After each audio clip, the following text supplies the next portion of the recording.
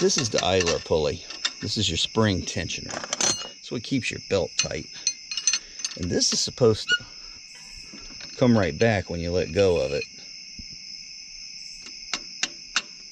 As you can see, this one ain't coming all the way back. That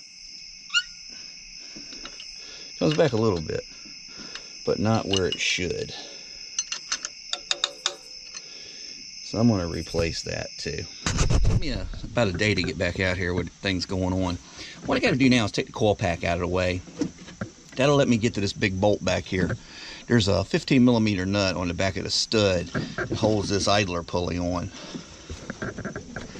and we can get it off idle idler tension pulley I should say then we can get it off put a new one in put the coil pack back and then we'll get the alternator back on here's that big harness that goes on the alternator from another angle. And we'll get the truck put back together and then I need to go get some antifreeze and water and mix up and put in it because it's a little bit low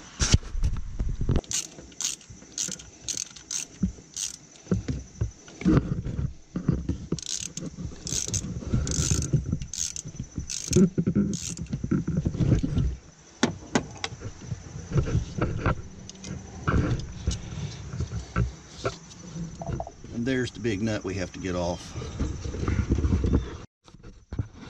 Now, in case you're wondering, you got a single bolt connection, and then you got this little pin here. In case you're wondering, this is where the bolt goes in, and this is where the sliding indention goes.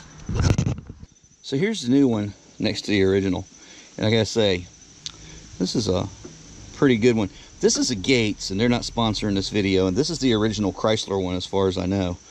So, I'm going to say they probably made it for Chrysler originally, or they actually took the time to get the Chrysler patent and make an exact part, because this thing looks just like the original, which nowadays, that's pretty unusual. So, there we go. And what this does, in case I forgot to mention a minute ago, this is what keeps you clocked to make sure this is in the right place as far as where it should set on the belt when it's tensioned. You don't have to worry about putting it in the wrong way. So here's the new idler pulley in, coils back on. Don't forget to hook your coil wire back up. This thing still has its little standoffs for its plug wires on it. This truck's very original. It's very original. Let me go ahead. I got to switch the pulley on the alternator, and then we can go from there.